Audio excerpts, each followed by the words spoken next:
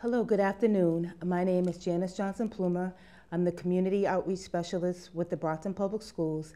And basically, I'm just coming here today to do a PSA public service announcement to let families and parents know of the Brockton Public Schools District that, um, as you're aware, uh, back in April and May, uh, we started issuing out what is referred to as pandemic EBT benefits.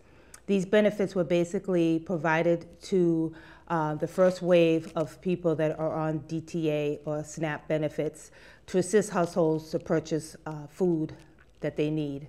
Um, each card or benefit was $3.99 per child. And like I said, the first wave went out to those who were on the DTA SNAP benefits. Now, the second wave uh, occurred between May and June, in which an actual PEBT card was sent to many households, especially for the um, district, the school district of Brockton Public Schools.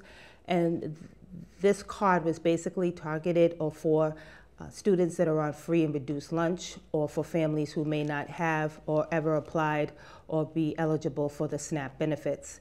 And many families, uh, according to uh, data that was provided to us, um, it was about 1,800 originally that of households that have yet to pin the card. So that number has slightly decreased down to 1,200, um, but the main goal is really to just ensure that all households have the ability to pin the cards. So I know that many households are saying, um, you know, I have these cards, what do I do with them? I'm not sure of the process. And the process is very straightforward, um, but I know that sometimes it, it, can be a little overwhelming because I know that the directions may say to utilize the social security number uh, for the directions, which in the case that is not what you have to do. You really have to just use the last four digits of the case number that was provided with the card or and the date of birth of your, of your student or your child. Um, many families have basically stated to me that they have yet to receive the case number that comes with the card.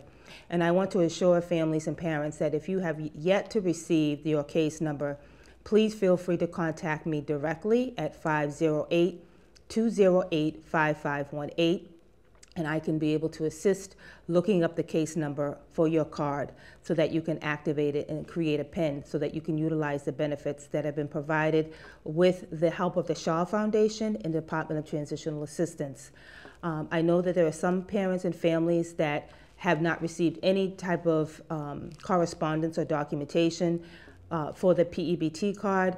You can also contact me directly at 508 208 5518 and I will take your child's information and I will submit it to Department of Transitional Assistance for this week.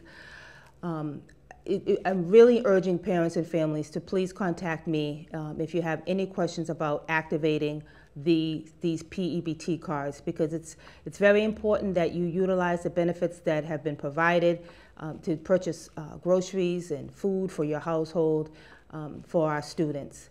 Um, it really just it pains me somewhat because I know that there's still an abundance of families out there who have yet to receive the cards. Um, but also you can email me as well, and my email is Janice J A N I C E Johnson J O H N S O N Plumer P L U M E R at bpsma.org, and I will respond to your email as, as, as soon as possible.